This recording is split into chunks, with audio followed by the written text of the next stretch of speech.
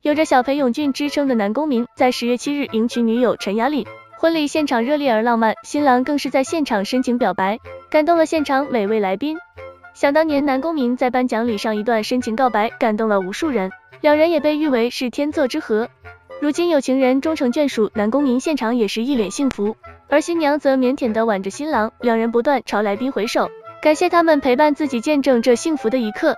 现场也播放了新郎向新娘求婚的影片。新娘陈雅琳动情之时也是潸然泪下，婚礼主持由新郎好友丁文胜担任。此外，东方神起的允浩和昌明也献唱为新人祝福。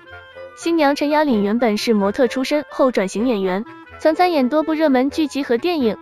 而现年四十四岁男公民相对来说更具知名度一些，早在二零零一年便开始出道，凭借斯文儒雅的形象征服一大批粉丝，更有着小裴勇俊之称。两人曾有着七年恋情，早在二零一五年合作电影。Light My Fire 时便擦出火花，如今修成正果，也让两人的粉丝激动不已。